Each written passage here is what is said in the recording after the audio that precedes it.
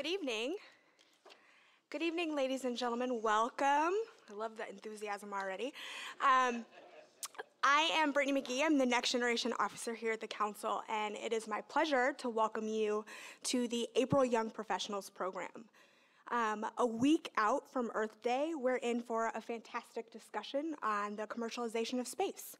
Um, we're in great company as well this evening um, as our friends from the Adler Planetarium have joined us. Um, a special welcome to you and thank you so much for your partnership in helping us build this program. Most of you know the house rules by now, but for our guests and newcomers, Tonight's program is um, on the record and being live streamed, so please silence your phones, but keep them at the ready um, as we'll be taking questions through our online survey technology, the link to which you can find on the screen on either side of me. Simply type chi.cnf.io into your device browser and select tonight's program to um, submit your question for consideration.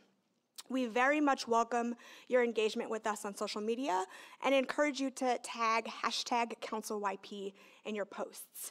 However, as you're tweeting, know that views expressed by individuals we host are their own and do not represent institutional positions or views of the Council. For nearly a century, the Chicago Council on Global Affairs has provided an independent, nonpartisan platform for a variety of different voices to pr promote deeper global engagement and active um, understanding of the global issues in the world.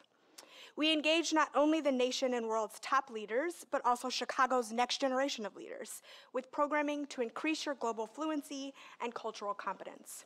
I encourage you, if you are not yet a member with us, to consider joining and participating in our Young Professionals Network, and I'm so happy to see a lot of our YPs in the audience tonight. To find out more about joining um, council membership, please see myself um, or other council staff um, following the program. Back to tonight's program. 10 days ago, Elon Musk tweeted, this is gonna sound crazy, but SpaceX will try to bring rocket upper stage back from orbital velocity using a giant party balloon and then land on a bouncy house. To crack that cryptic code and elucidate for us if recent interest and massive personal investment by corporate entrepreneurs is a case of boys with big wallets playing with galactic toys, or a trend-setting shift of space exploration from the private from the public sector to commercial operation. That is what our esteemed panel will discuss.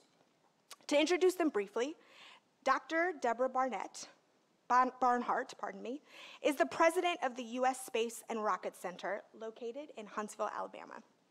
She is the recipient, recipient of NASA's Distinguished Public Service Medal, and Deborah holds a master's in business administration from MIT and a doctorate from Vanderbilt University. Christian Davenport is an author and staff writer at the Washington Post, where he covers the space and defense industries.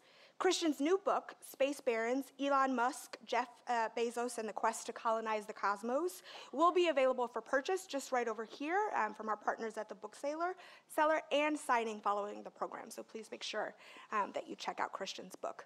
Christian is also a former public policy fellow at the Wilson Center's Digital Futures Project. And moderating tonight's discussion is Michelle Larson. Michelle Larson is the president and CEO of the Adler Planetarium. She's previously held positions in science engagement at several universities, including Utah State University, the Pennsylvania State University, and University of California, Berkeley. Michelle holds a PhD from Montana State University. I will return to moderate the Q&A following our discussion, but until then, ladies and gentlemen, please join me in welcoming our far out panel. Well, terrific. We're, we're happy everyone could be here tonight, and we're looking forward to this conversation. We're going to talk a lot about the business of space exploration and the private and public um, partnership and all of those different things. So I think we have some great panelists here to offer some insight. I thought um, we could start by thinking about, we often say an evolution, as was said in the introduction, from public exploration of space to this kind of corporate adventure.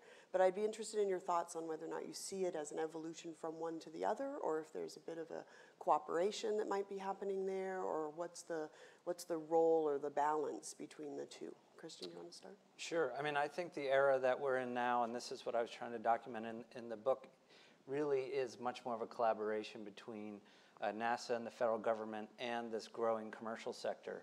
Um, and if you look at the, the arc of America's space program, right from the very beginning with the Mercury program and Gemini and Apollo and the space shuttle, and now I kind of think this is, uh, you know, the sort of the commercial space era in a way, and where NASA, you know, led the way really under the Bush administration and saying we want to get out of low Earth orbit you know, meaning servicing the International Space Station, which is about 250 miles up.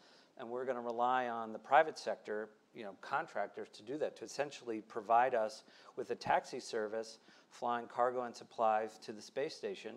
Uh, under President Obama, they doubled down on that and said, you know what, we're going to have you guys fly not just cargo and supplies, but human beings as well, and really trusting them. And the idea is that NASA then frees up those resources to go explore deep space, but now under the Trump administration, you're hearing talk about going back to the moon, but doing it in partnership with industry. So yeah, I mean, I think it's a significant turning point. I think they recognize that it's hard to get out into space without bringing everyone in, all types of industry and all types of even international partners. And Deborah, you worked in the space hardware arena for quite a long time. And so talk a little bit about the evolution or the, the, the way in which this partnership has evolved from the time you were doing that to now. Sure. Well, being one of the few people in the room who was, you know, alive and a teenager when we landed on the moon, you know, I can, I can go back a little further than Christian perhaps.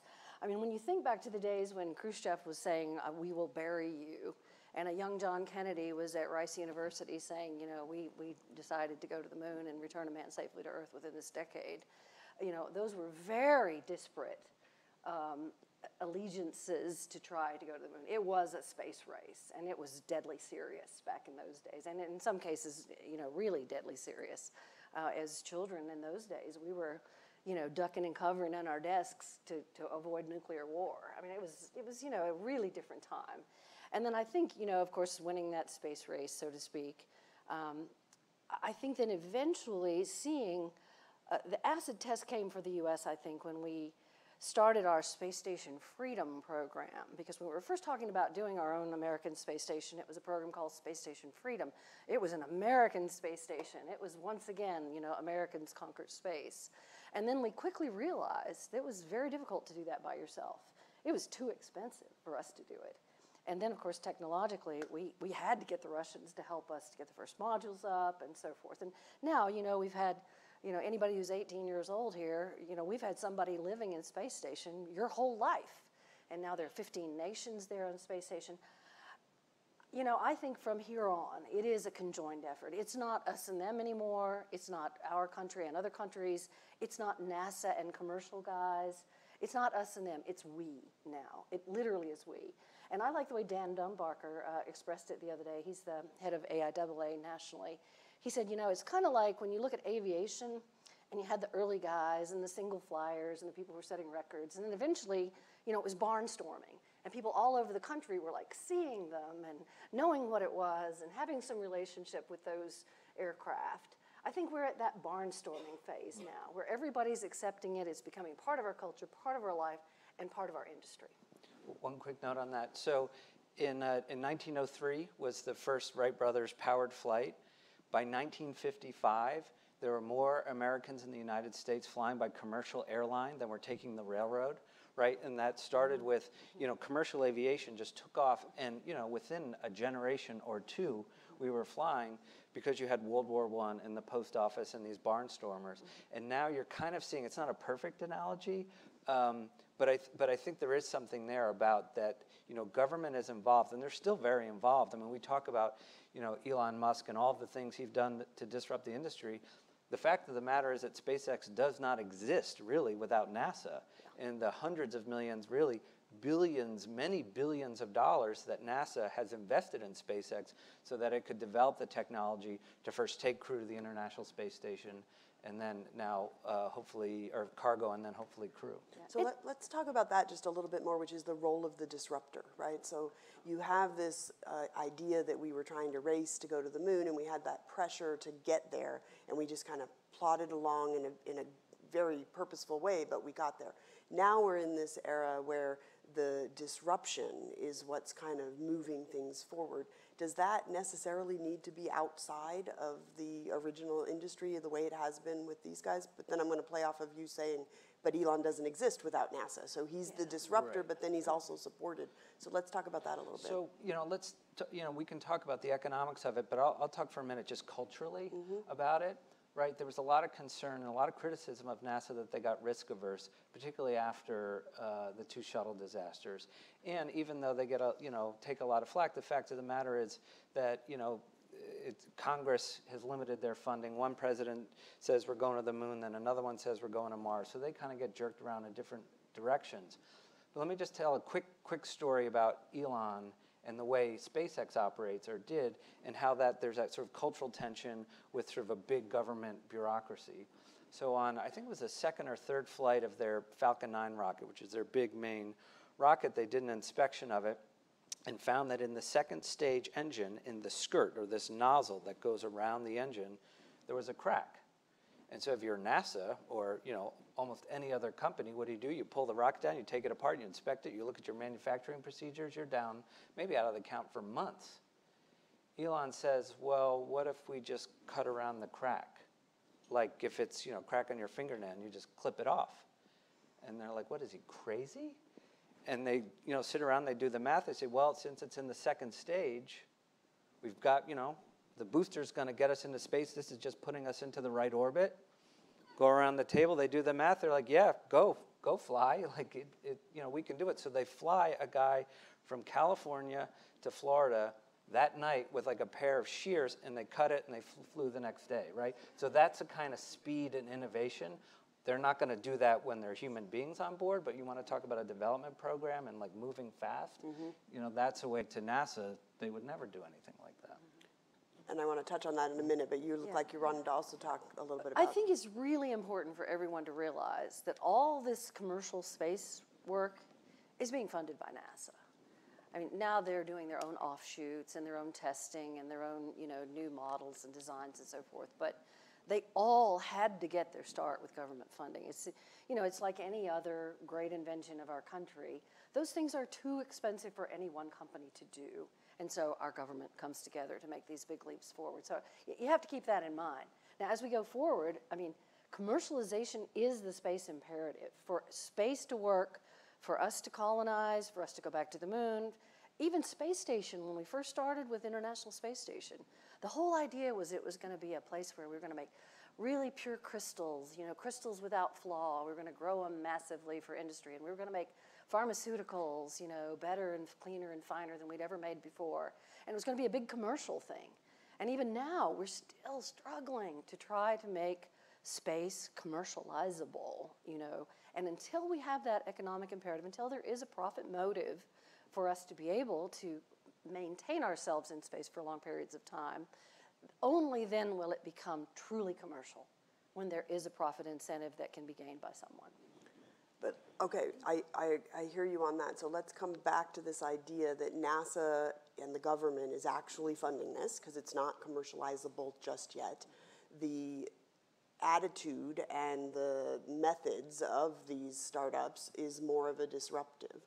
But is that distance necessary for the public to be accepting of clipping around the crack when they don't necessarily relate it so much to their own dollars that are being treated that way? What do you mean by distance? So we often hear that the government needs to be a bit more cautious because it's taxpayer dollars that they're spending.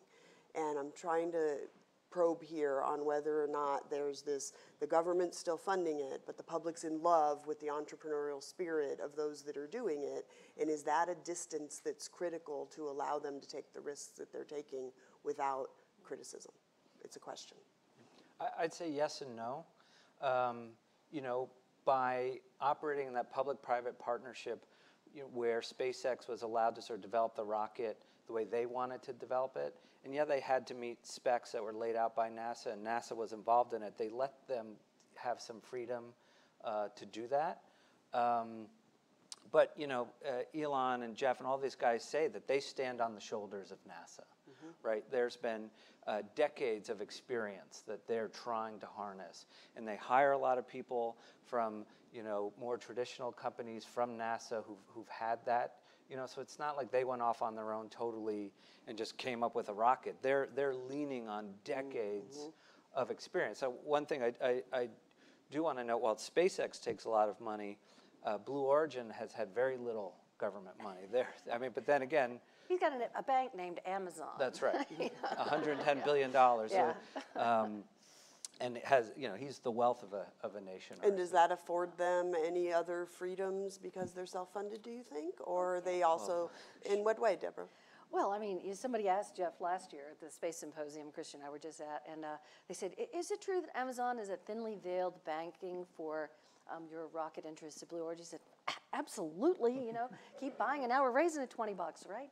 So, yeah, no, I, I mean, I think it's fine. I think it's astonishing that a guy like Elon would, uh, you know, get his money from PayPal. I think he was one of the partners of PayPal, and he got something like, and Christian, you can correct me, something like $486 million when he sold out. And to think, I mean, think if you had that money in your hand from selling your company and decide, I want to build a rocket company. So I think that internal desire is what's astonishing about these guys. You know, not that they can do the contracting with NASA and do these various technical things, but they had the will and the desire to bet it all. Because Elon bets the whole house on his on his enterprises. I think it's amazing. Yeah, and you see, and what's interesting too, because they all have different interests, right? Elon had PayPal, and he's got Tesla and the Boring Company, and he also tweeted that he's going to build a cyborg dragon. I don't know anything about that, um, but but I think for him, you know, space is and and SpaceX is central, and again with Jeff, you know, Amazon, and he owns the Washington Post. Uh, my employer, but I, I think that Blue Origin and space is his real passion. And when I was talking to him to try to get him to participate in the book, I said, everyone sees you through the lens of Amazon. I think to understand you, we have to see you through the lens of, of space. I mean, it's a real passion for them. And it's that passion and that adventure and all of that push that drives them to do something that's inherently quite risky. But I don't want to. I don't want to undersell either what they've accomplished. Elon has disrupted three industries entirely. Entirely. I mean, the automotive industry, the rocket industry, and the energy industry. And he's about to do the vacuum tube, whatever he's going to do with Boring Company. But I mean, when you look at United Launch Alliance, which now makes the Atlas and Delta rockets, which are your rockets for this nation, those are our heavy lift vehicles. And the two rockets are now going to come together. The next generation will be called the Vulcan rocket.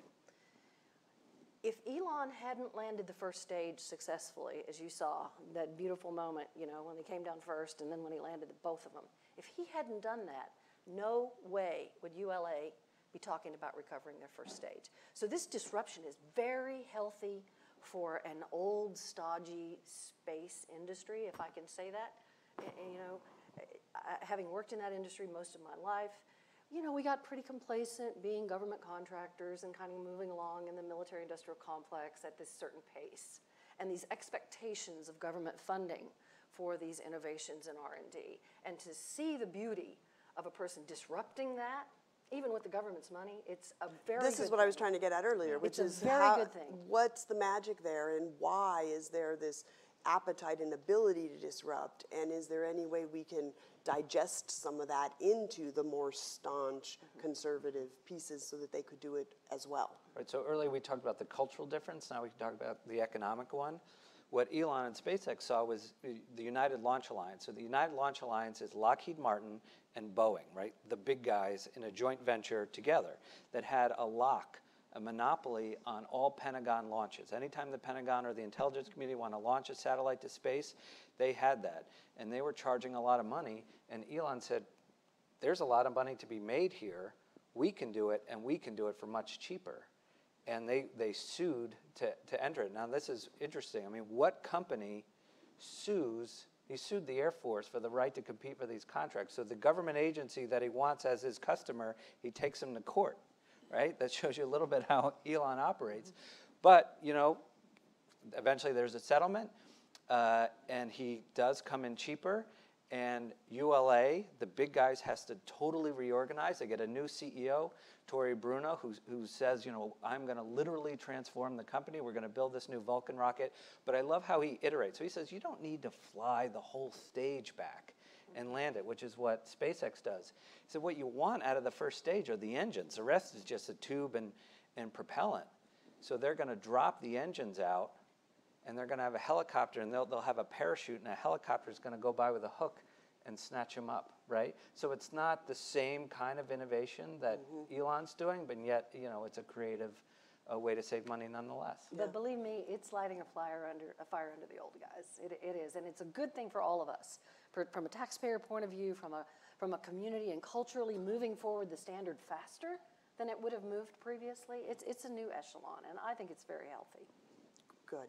We mentioned also about how there's a lot of talent that's being swapped between the old guys, as you called them, and the, the tried and true that have the experience and they're coming in and being recruited by these. But then there's a lot of young talent that's also coming into this new space age and working for these companies. Is there, do you, either of you have any sense if there's a competition for talent? Is there enough talent to go around? Is there extra talent needed? And if so, where? How's that talent pool working? My sense is that I mean, there's enormous competition. There's a competition among, you know, Virgin Galactic and Blue Origin and SpaceX, but also among Boeing and Lockheed and NASA. And my sense is that no, there's not enough talent. They they want more, and that you see them investing in uh, you know STEM programs and really do want more engineers. And and, and you know the the irony is like this is like one of the most interesting times in the last uh, at least decade or so you know, I mean, it's such an enormous time, and there's this huge demand for talent, is what I hear. There was a lot of credit given to the Apollo era for feeding the coffers of NASA engineers that are all now retiring because it was a national, you know, pride to, to go there. Then there was a lull for a while about that kind of national interest in space. Is maybe this new era of corporate space interest fueling another wave of people being interested in working in that You area? know you're in my wheelhouse now, Michelle. Mm-hmm. we're, we're partners with the Adler at the Space and Rocket Center. And of course, Space and Rocket Center is home of U.S. Space Camp. So, you know, we've graduated 800,000 people. And that's children, adults, people from all over the world, 150 countries, all 50 states, in 36 years of this program that is Space Camp at a NASA Visitor Center. So it's quite authentic. The work that we do there is all based on, you know, NASA training and the real vehicles. Many of our simulators are the hardware that has come out of the program, the engineering models and so forth. So my life is the development of this workforce, and we desperately need it. We need it not only uh, in the aerospace community, but we need to use the aerospace dream to stimulate young people to get into STEAM subjects so that I don't care whether they become astronauts or not. But we needed this inspiration. We need to light this fire of inspiration in young people with space travel so that we can fill the coffers of all of these other technical areas. Cyber, there's a terrible dearth. Cyber, y'all. I mean, every industry, banking, energy, you know, we're going to desperately need more people than we have coming in through the pipeline. Aviation, we don't have enough mechanics, we don't have enough pilots, you know, robotics, all of the technologies that are developing through the aerospace programs, we need throughout industry in our, in our nation. So lighting that fire of imagination is my full-time job. Awesome. And, and these guys know this. They know it's so important to inspire people and to make space, like, frankly, cool and interesting again. Early on, one of the things that Elon wanted to do, before he'd ever even launched a rocket or even, you know, really had gotten SpaceX started, one of his first ideas was, well, I'm going to go to Mars and I want to fly a plant and have this plant be on Mars. So it's a living thing on Mars. You've got this, you know, green sprout against, you know, the, the orange uh, of Mars, and that'll be cool. That'll get really people fired up. And, you know, I mean, he, he never did that. But, you know, and I was one of the reporters when he, you know, flew the Falcon Heavy and put that Tesla. You guys remember the Tesla that went in with Starman the mannequin? And I was like, this is another Elon stunt. I mean, can't you find a scientific payload? Couldn't some students put something together? And is this a responsible use of space? And then you saw that and that image, and you're like, okay, It captured the imagination. it captured the imagination. It was like the, you know, the Earthrise photograph, right, from the Apollo era for the millennial generation in a mm-hmm. way, right? And he's he's really sort of got people's interest in space. Well, There's- there's by, a- by way of full disclosure, I'm a Tesla driver, and I freaking loved it. I mean, I love seeing Rocket Man out there. And then we, a couple of weeks ago, we went and put my Tesla on this lunar crater that we have at the Space and Rocket Center, and we tweeted it over and said, "Hey, Elon, first Tesla arrives on the lunar surface." Very nice. I, I love it. I love it. Whatever inspires and makes us all happy, and makes us more interested and more enthusiastic about that, I think it's all good. Well, this is a long game, right? So that's the other thing is it's a long game to go into space. It's a long game to do the stages that he's been doing, and there's some level of this capturing the imagination and the interest that I think keeps people along for the ride as we're needing to spend all of that time. These guys have their bazillions, as we talked about. They didn't have to choose space. They could have chose the depths of the ocean. They could have chose, mm-hmm. You know, the dryness of the desert. They could have gone in a volcano instead. Thoughts on why space? Why are we now finding ourselves 50 years later returning to space as that inspiration? Well, the, the, for these guys in the long vision, like the, you know, we talk a lot about Elon, and it's funny because a lot of people don't even realize Jeff Bezos has a space company, I think. But now, because they've been so secretive, he actually founded it in 2000, so two years before SpaceX. Um, but, but, you know, what Jeff talks about, Elon says we got to go to Mars in case anything happens to the Earth. We have sort of a plan B. If there's an asteroid that hits the Earth and humanity goes extinct like the dinosaurs, we need sort of a backup to the humanity hard drive on another planet. Jeff says Mars is really, you don't, it's, he says it's like, if you want to know what Mars is like, go to Antarctica because Antarctica makes Mars look like a garden paradise. What he wants to do is to go out into space and really have all heavy industry up in space. But he's talking like hundreds of years out, and where he's mining asteroids, get, getting solar energy, doing manufacturing in space, sending those resources back to Earth. Resources on Earth are limited, the population's growing, demand for resources is growing. At some point, you know, there's going to be a, you know, we're going to have to go out into space, this is Jeff's vision, to be able to sort of keep our quality of life.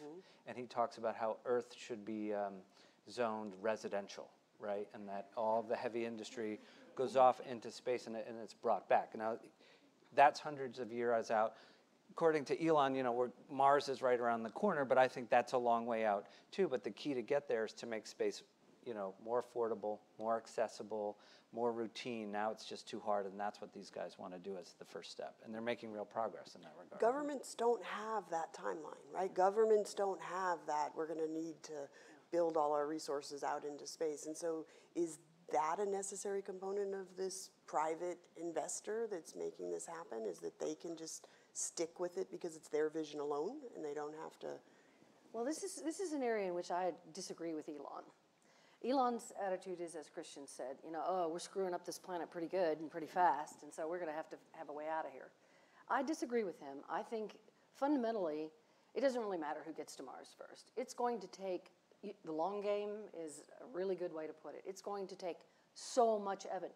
Even Wernher von Braun, back in the late 60s, when he wrote a book about the red planet, he thought it would take 259 missions of heavy lift going to Mars before we could even hope to have a base there.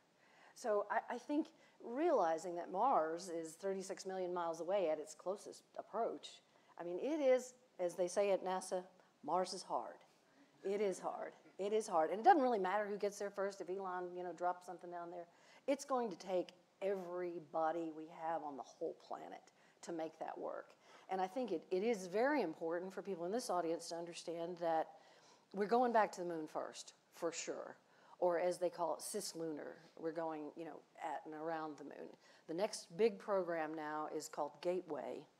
And it's kind of putting a small uh, human tended space station, if you will, in the vicinity of the moon that you could go up and down from there to the moon. You could move this little space station around. You could go over and check out asteroids or do some mining. It's kind of a local camping trip, you know. It's like if we were going to go camping, we wouldn't go to Grand Canyon for 20 days.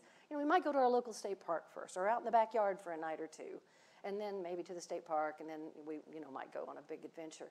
It is such a difficult task. Life support and life sustaining in space. Rockets, no problem. And I, I, think Christian would agree with me. We can get pretty much anywhere we want to get in the plant in the solar system, you know, pretty easily. but living and sustaining life there, feeding ourselves, generating oxygen, recycling water. And this is where I disagree with Elon. I think the technologies that we must develop to sustain life on the moon or on Mars are the technologies we need to save the planet here pure water, clean air, good telemedicine. All of those are those technologies that are coming in the wake of space exploration that are critical to res- retaining life on Earth. Right, as Jeff agrees with you, I think he says Plan B should be to make sure Plan A works. And Yes. Plan, Yeah. Plan A is Yeah. Earth. I mean, Earth is a pretty, you know, we had a beautiful day here in Chicago walking around. I was at the Cubs game last night, you know, Earth is all right. Right, let's, let's save it, yeah, exactly, Yeah. very good point. You mentioned that at NASA, um, Mars is hard. Is anything too hard? I don't think there's anything out of our reach. I mean, those life support, eh, you know, environmental control and life support issues are the hardest issues. So those people that are working on those things, carbon dioxide removal, oxygen generation, water purification, food growth. Imagine how difficult it would be for us to grow enough food for the people in this room for a month. I mean, it would take, it would take some doing, you know, and then recycling our waste and so forth. So it, it's going to be hard. It's going to be a hard challenge, and it's going to take the best minds we have. And they're up for the task.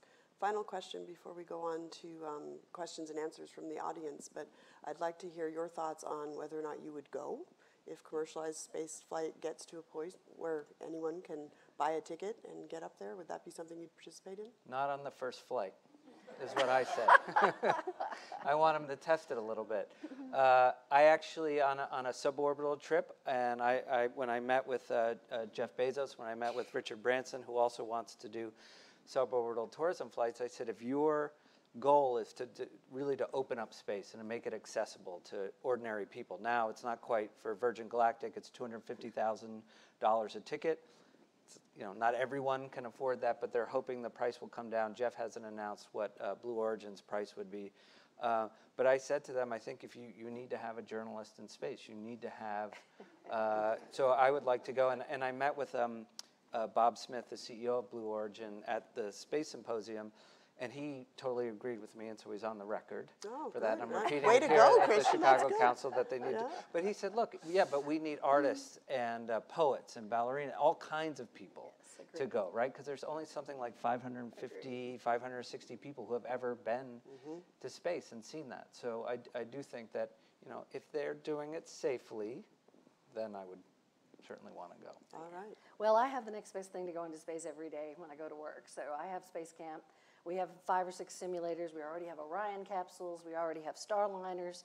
We have a water tank to train, just like the astronauts do in the microgravity environment of water. So I have a lot of opportunity to get ready to go. Frankly, I mean, I'll be 66 next month, and I frankly expect to travel in space in my lifetime. I do not think it'll be a lunar or Mars mission. I have no interest in getting a Volkswagen with four or five other people and going for a month. I, I, what I want to do is go and hop on, probably you know, um, S- spaceship two maybe. Mm-hmm. I want to go and have a couple of take off and have a couple of orbital sunrises and sunsets, and then come home for cocktails. and I expect to do it in my lifetime. that's a pretty I- nice I, think plan. I will. That's great. That's great. Thank you for sharing that. I think we're lucky to have those that do want to be on the first flight. You know, that's part of this is that there's risk involved, and there are people that are willing and wanting to do the risky part.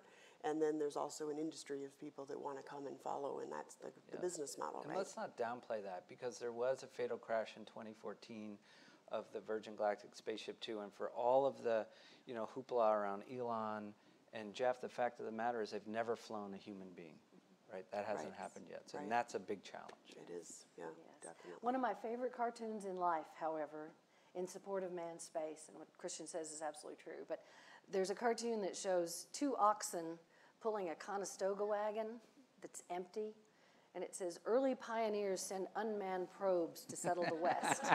so, you know, people are good. Human space is a good thing. Yeah, definitely. Awesome. Well, we will uh, begin our question and answer uh, portion of the program. We invite you to ask questions to all three of our speakers. Um, You still have time to submit your questions online. Again, you can go to chi.cnf.io to submit a question online, but we'll also be taking some questions from in the room. There are folks walking around with mics, so all that um, I ask is that you wait for uh, wait to be called on, wait for a mic, and please make sure that your question is actually a question. We will start off right here on the right. Hot chick. All right. There you go. Uh, for the full panel, um, you guys talk a lot about public-private partnerships, but in uh, your description, it, it almost seems like a one-way street where it's like the government they provide the funding. Government is oftentimes the talent pool that then goes into the private industry. What is the return on investment? For the government on the other side, or, or what are they doing in, in, regards to acquisition reform that they're actually able to utilize some of these evolving technologies that are coming out of uh, um, um, the, these, these amazing companies? Well, they have a service to the space station now that they didn't have. Uh, you know, people forget, and then if they're able, Boeing and SpaceX are under contract to fly a crew they're doing that, and I think the cargo program and I think Crew are both on fixed price contracts as opposed to cost plus. So, you know, that's the number, and it's not uh, going to change. You know, the, the, what NASA would get is the restoration of uh, human spaceflight from U.S. soil. People forget the United States government right now does not have the ability to fly humans to space. We pay Russia to do it. We pay them about $84 million a seat. You know, sort of an irony there. Um, but it's been at a huge cost. But when, how do you get to that point where the government's not the only customer and it becomes a self-sustaining economy in space and that money's there, as you were talking about? That's a much more difficult problem. Yeah.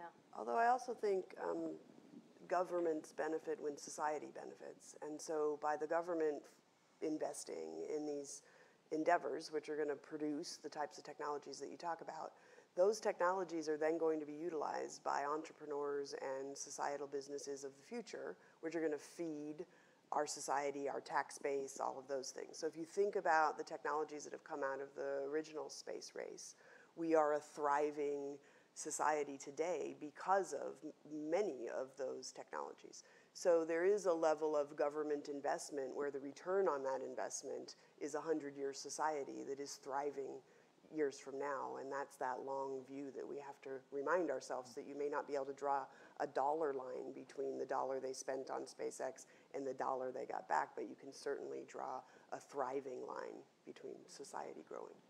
I think it's, it's exactly the same situation as, uh, as Columbus trying to convince, you know, Ferdinand and Isabel to fund his journey. He had no idea what would come in the wake of that journey. And I think that's kind of what you have to give it up to for space exploration is when we began space exploration, you know, 50s, late 50s, gosh, think how many technologies we have today. I don't have to talk to this crowd about spin-offs. But I mean, if you take alone communications, geospatial communications, uh, and Earth orbit, navigation, and communication, and my, for God's sake, don't take away the digital TV, you know, we'd all have fall apart, and if we didn't have our phones. So, and then look to medicine, MRIs, most of all, I think materials science, you know, developing new materials that allow us to do inconceivable things previously. You know, I think those are where we're going to find that payoff. Right in the middle here on the right, blue shirt.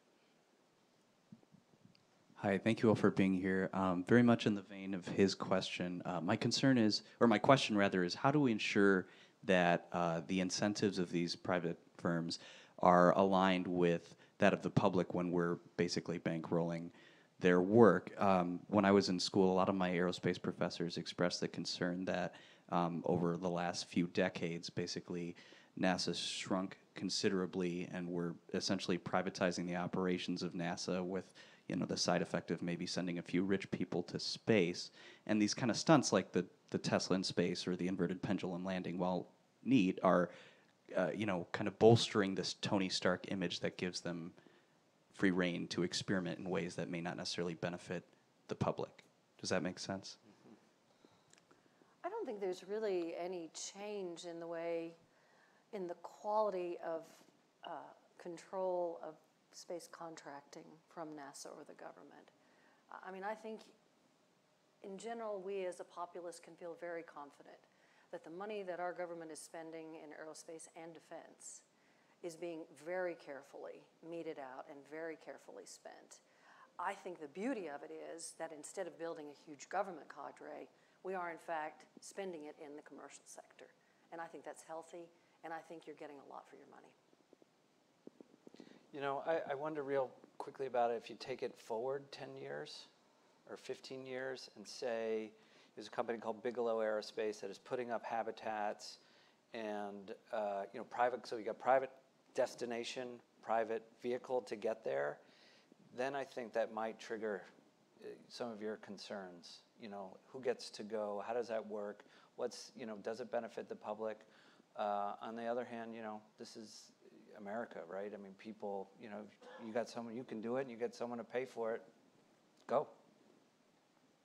And if you explore the alternative to not having the Tony Stark moments and the, we talked about that on the panel, if you don't have that inspiration, you know, you end up with this dearth of interest in pursuing these fields. And so there's got to be enough to keep people engaged and interested while also having it in an environment in which there's responsibility in how things are being done. And then there's this layer of saying it's going to come down. Technology always comes down to where it's accessible to many more people. And don't discount space tourism.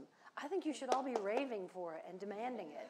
I do, because I think it's going to be one of the things that's going to push us hard to, you know, to do better and to do more. It's like the barnstorming. Then people wanted to take a ride on the little airplanes and go places.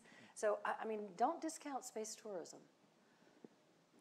One of our top questions um, submitted online here or voted online here is thinking globally, would this shift to private investment um, enhance or expedite international partnerships in space innovation? Question. I think it enhances it, and I think it drives competition. I think, you know, all the money that's flowing into the US space companies, which is significant, uh, I think other countries are seeing that and saying, we, you know, maybe that's the way to go. And I think those governments are saying, maybe we need a few billionaires and it'll, you know, help our bottom line. Oh, I think the globalization is necessary. It's absolutely necessary. It's a very small planet. And to think that any one of us, you know, is going to rule in this area, no. It's too difficult and too expensive. We absolutely need one another. And when you see nations like the United Arab Emirates who are going to celebrate their 50th anniversary in, I think, two years from now, and to, to celebrate that, they're going to, you know, have a mission fly around Mars. I mean, what more inspirational thing could there be? So we've got to do it together. I'm going to slip into moderator mode for just a moment. I want to push that just a, a, little bit and ask in science, we see international collaborations as absolutely that, strengthening us and helping us tackle the big projects. I'm curious from your work in the industry, I think we, as the public, too often hear about international competition mm-hmm. and that we're competing mm-hmm. against one another. Is it a collaborative, we need each other environment, or is it a competitive, we drive each other environment? At the scientists and engineers level, it's very collaborative in my ex- total work experience. Mm-hmm. It's the International Space Station, Yeah. right? Yeah. Uh, you know, who knows what's going on geopolitically, right, between the U.S. and Russia, but we're partners there. Yeah, that's very good. It's probably the point. strongest glue we've had over these past 15, 18 years. Um, right up front in a green dress or a green shirt. Wait for the mic. Thank you. Uh, thank you so much for coming. I'm a Rocket City native, and I, I eat, sleep, and breathe space. So I'm just City, thrilled you're that's here. Huntsville, Alabama, for those of you who don't. The Rocket Yes, City. And I live in Chicago now. Uh, so my question is for the panel, um, and I'd like to reference uh, Christian's book. So you mentioned the Space Barons, which are all um, these playboys that are in Us Weekly and People and have big personas and um, are known for many other things besides uh, their brilliance. You know, they're known for their wealth and all these other things. Who is in this arena that is maybe not a P.T. Barnum type personality? Who are the companies or individuals or women that are doing things um, kind of in the shadows? One of the things that you've seen, right, we do talk about a lot about the billionaires and their big rockets, right? They get a lot of attention. In their wake, you've seen a number of companies pop up. Uh, I mentioned Bigelow Aerospace that's building these inflatable habitats. I mean, they're like, they don't like, I don't think they like the word inflatable, but that's what they are. They get packed in there and they're like made out of Kevlar and they get to space and they become these balloons. There's another company called Made In Space. that's going to do 3D printing that has done it now on the space station um, and manufacturing in space.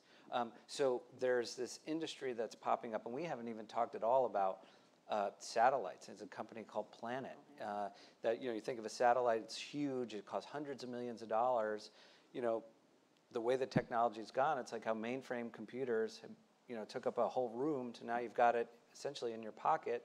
Satellites are now the size of a shoebox. Um, so you're seeing this industry really kind of take off with with the hope that they can move faster and get to space more accessibly. There are hundreds, literally hundreds of companies doing different levels of things. Um, and they're regular, you know, cool engineers and scientists and just people that do it for love and do it for technology's sake, not necessarily for the money. Um, Dream Chaser, for example, you know, they're talking about a vertical launch, horizontal landing, and, you know, taking up nanosats as secondary payloads uh, and eventually flying people. There are all kinds of people in this industry, hundreds of companies, literally. Do front row right here. So we, we've kind of been tackling this obviously from a heavily economic perspective, some economic government relationship, but it's all been primarily US centric other than the last couple questions. What does the ultimate regulatory framework look like to ensure that there are no bad actors? And we've already seen China, you know, shooting up a satellite and throwing up a debris field. How do we ensure that, you know, as a planet, we don't basically destroy this resource before we actually begin to take real advantage of it? Yeah, th- this was a big thing at the space Uh, symposium. it's one of my favorite subjects. Go ahead. Well, I'll be quick then. I'll, I'll hand it to you. So uh, Secretary Wilbur Ross started to talk about this. So the Commerce Department's going to take over, um, you know, s- sort of space traffic management. Commerce, think about it. Yeah, Not the right. FAA, you know, Um, yeah, but that's a real concern. That 2007 uh, satellite put up a huge debris field. It's a real problem. There's a lot of debris up there, and how you deal with that and create rules for the road in space. You know, right now the Air Force, you know, is going to track all this debris and all the satellites, but they can warn you, hey, your satellite's going to get hit by this other satellite or this other piece of debris, but they don't have the ability to say you must move your satellite. Mm-hmm. So just to put some numbers on what Christian said, the Air Force tracks 21,000 objects that are about the size of your palm, and there are 200,000 more that are smaller than that. So, you know, this space junk, it's not just a movie, it's a real thing, and it will impede our ability to access space, so it is critically important. On a higher order architecture, I think maybe more your question, you know, the Space Admiralty law and international space law is fledgling. We had the 1967 uh, Treaty for the Peaceful Uses of Outer Space out of the UN. That's pretty much the overarching thing we still have, and you know, UN has no teeth. There's no way anybody could reinforce any of that, even though everything it says is great and probably a good thing. Then we had the Moon Treaty. in 2007 when, Yeah. when the Chinese created that debris Yeah, well, pretty much without consequence. they're not the only sinners, that's for sure, but yeah. Well, they got caught. I think it's a wonderful area of study for any of you who are interested in space law. It's a wide open, very young field of study. Other questions from the audience? Do, right here, this gentleman right here. Can you describe in detail some of the industries or jobs that could really assist or benefit fr- from this commercial opportunity? Uh, SpaceX, Blue Origin, all these companies on their website have job postings, and right, if you go on them, they're long. So you get a real good sense of what they're looking for. Yeah, it sounds like you're looking for a job. But what will surprise you is the breadth of talent that is needed to do this type of work. You may think that you need to be an electrical engineer or a mechanical engineer. That is not the case. You, they have talent pools of people that can do communications work, people that can do project management, quite frankly. It takes IT professionals. It takes, these are complex companies that are doing really sexy, big work, but it takes a lot of different talents. And I think that's one of the most exciting things to do is to look at the job list and realize that you may not think you're in a profession that overlaps with space exploration? And I would guess that you probably do.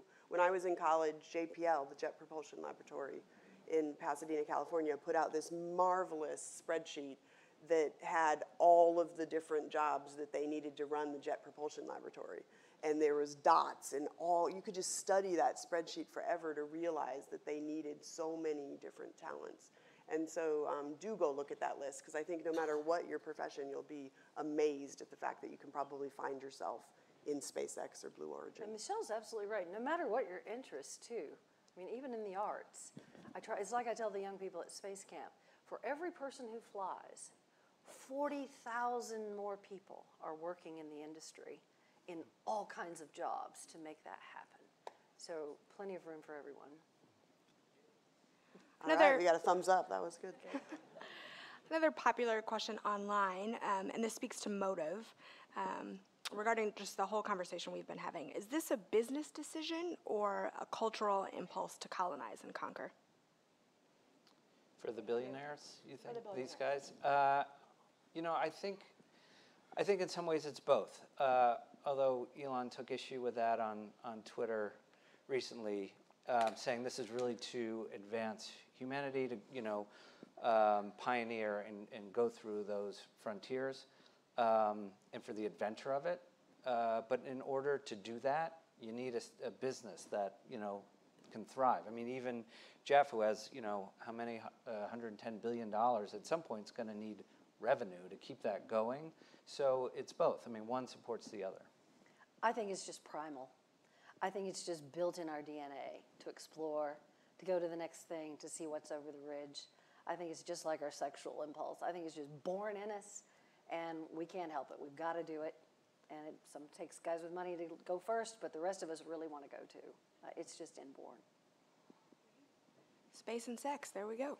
uh, right here in the front, on the right. Um, thanks for being here. Um, we've talked a lot about the business um, side of space, but I'm curious to get or hear what um, planetary missions and exploratory missions, either from NASA or the European Space Agency, what missions are exciting you guys? Which ones do you think um, have the biggest potential to um, further inspire us to go further into space? I'm waiting for the phone home moment from Pioneer. I mean, I just, you know, it's left the galaxy. And should we ever hear anything from it? I mean, wouldn't that be exciting? I don't know. What planetary missions are you interested in? Well, you know, and then there's the, was it Mars Insight that's going to launch, that's going to drill into Mars? But I think really what it captures people's attentions is when there's humans involved. I mean, the, the robots, you know, Curiosity, that, those are incredible. But when you put human beings on board, it's a whole other thing. So this gateway in cislunar space, if they're able to get that going, um, you know, that could be really interesting. And that's something that these billionaires are really interested in. I mean, both Elon and Jeff have talked about it. Blue Origin wants to build a lunar lander called Blue Moon to bring cargo and supplies ahead of a colony. I mean, as Jeff uh, said, and I think I had this in the paper, if not the book, you know, it's time to go back to the moon, but this time to stay. And what's key about that is, you know, there's been the discovery of water ice on the moon. Well, that's hydrogen and oxygen, that's, that's rocket fuel, right? So then you think of the moon not just as a destination, but as a gas station and a launching off point. And one of the things I'm personally very excited about is mining. The ability to go out and to get rare earth metals and precious metals that we need here. I think, frankly, personally, I think that is going to be the economic driver that will turn it over so that space becomes, you know, viable as a business. And, you know, Boring Company is, you know, not just for doing a vacuum tube between San Francisco and LA. The Boring Company has to do with asteroid, lunar mining, and so forth, too. But uh, for planetary missions, I guess for me, I'm really looking forward to the James Webb Space Telescope. I mean, after the thrill of Hubble, and we saw 200 billion galaxies that we've never seen before, and they think with James Webb we'll see 300 billion galaxies. I, I don't know. It's mind boggling. So I'm looking forward to the launch of James Webb. And I think any of the ones that are looking at different environments, right? So exoplanets in particular, but being able to understand if there are other um, Earth-like planets around stars, but then also just different environments that help us learn more about environments on Earth. When we started finding water ice on Europa and oceans underneath, then we started thinking about how life could live in ultra cold environments on our own planet. And we started looking down into the depths of the hot pots in Yellowstone when we started realizing that there were hot places in the, in the solar system. So the missions that go out and try to find new environments, either in bodies in our own solar system or by watching planets around other stars, I think it's exciting to realize that there's a lot of different environments out there, but then we reflect back on the fact that there are still environments on our own planet that we haven't completely explored. Um, on the right, gentleman in Hello, uh, my question's for the whole panel. Uh, and I was really curious about towards the end of the conversation, you were talking about uh, life sustaining missions. And one of the, most recent examples of that was the Kelly Brothers mission. And I was just curious what your guys' thoughts and insights into that were and some of the results that came out of that. I, I think what it showed is how incredibly difficult and how poorly suited we are as human, as little bags of water. Basically, that's what we are, right? We're bags of water. I- mean, you know, now there are things not only, you know, we've talked about bone density for a long time and muscle mass loss and so forth. And I mean, when you think astronauts have to, in low Earth orbit, have to exercise two and a half hours a day, I mean, that starts to really put some framework around it. Most of us, you know, 30 minutes, we're lucky if we get it done, you know. But I think also now this uh, ocular pressure, the fact that they're discovering that and changes in the DNA even. So, I, I mean, we've got a lot to learn about that. You should read his book, Endurance. It's fabulous. Yeah. Scott Yeah, Kelly's good book. job. It's really wonderful. It's so well done. That'll give you a lot of insight into that. And I became a physicist because biology is too hard, so biology in space is even harder. So I agree, there's so much we don't know. So much we don't know. It's just fascinating. Um, to our council supporter in the spacesuit in the back. Yay, You space said camp. 800,000 graduated. I'm a proud space camp um, graduate. Yes, me too. How many, how many other, how many others in the room are space camp graduates? Yes, yay. Oh, they're all sitting together, so Yeah. it's a cohort. It's my family back there. That's my Oh, family okay. back there. I didn't go when I was nine. I went when I was uh, 40. And so I want you to know there is adult space camp. You haven't missed your chance. Yes. Uh, but I also want to know, and, and I think it's fantastic that we have two women on stage talking about space and science. And as the mom of two daughters, what we can do like, to specifically encourage women, not just, I know we need a whole workforce, but specifically to encourage young women to take a look at STEAM education. And I mean, our girls will go to space camp, but beyond that, like what else could we be doing? And what brought you to where you are? I think. Yeah, biology was. I think as scientists, we do a horrible job at actually helping people understand what science is as a career.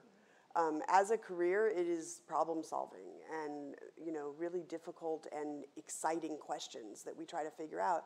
And it takes, as I already mentioned over here, a variety of talents and teamwork and creativity to tackle these really interesting mysteries and problems. And who wouldn't want to do that?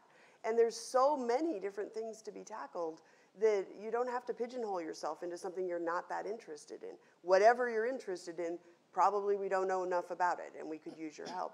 So I think the first step is being better at describing what the process and the career of being a scientist or an engineer or a technologist really is. It's not about repeating things that we already know are done so that we can affirm that we've learned the tools. We have to do that. We need the tools. You're going to need the tools. But that's not what science is in being a scientist. So we're working very hard at the Adler to try to do a much better job at engaging people in the work of science, the work of discovery, the work of engineering, so that people can see themselves and find themselves. So I didn't know I wanted to become a scientist until I was 24 years old because I didn't realize that it was mysterious and fun and a curiosity driven endeavor that I needed to bring my own particular life path and experience set to the table to help the team that was already there solve those problems. So I think that's one thing that can really help is to be more accurate about what's needed. Christian, I'm interested in your view. I'm going to bring my girls to space camp. We, we were talking about this backstage.